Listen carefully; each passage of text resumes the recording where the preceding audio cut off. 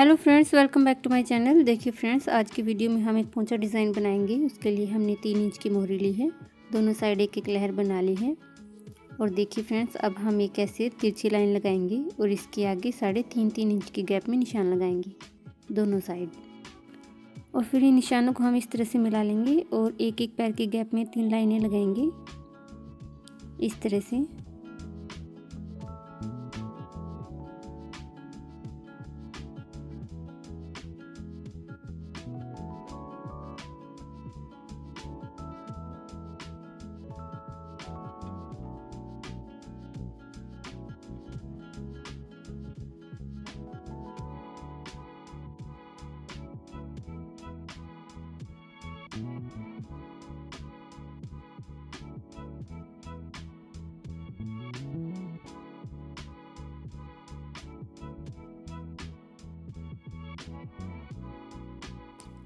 देखिए फ्रेंड्स, इस तरह से हम एक लाइन लगाएँगे और इसे एक लीफ की शेप देंगे।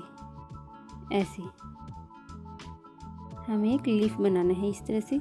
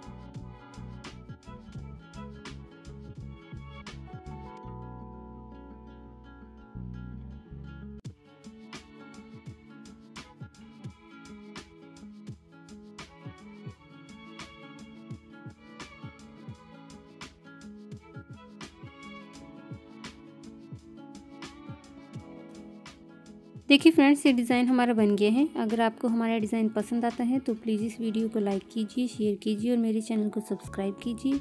और बेल आइकन दबाना बिल्कुल मत भूलिएगा, ताकि आने वाली हर वीडियो की नोटिफिकेशन सबसे पहले आप तक पहुँच सके। Thank you, thanks for watching.